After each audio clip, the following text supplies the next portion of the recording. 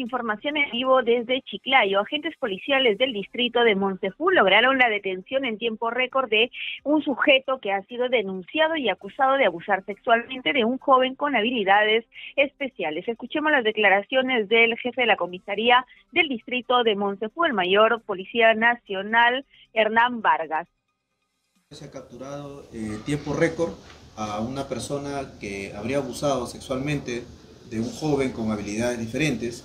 En horas de la mañana llegó con su señora madre a poner la denuncia, inmediatamente la comisaría de Monsefú, haciendo un operativo cerco, logró intervenir esta persona y pasarla como detenida. En este momento se encuentra en la comisaría ya con conocimiento del Ministerio Público, se viene realizando las investigaciones del caso.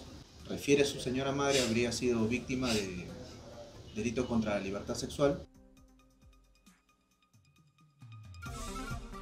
Hemos escuchado las declaraciones del comisario, se vienen realizando las diligencias de acuerdo a ley, por lo tanto todavía el investigado que responde al nombre de Efraín Ayasta Yuen de 24 años de edad permanece detenido en la comisaría del distrito de Montefú. Para éxitos informa Noel Camonte en Chiclayo 98.9 de la FM. Exitosa, 13 años integrando al Perú.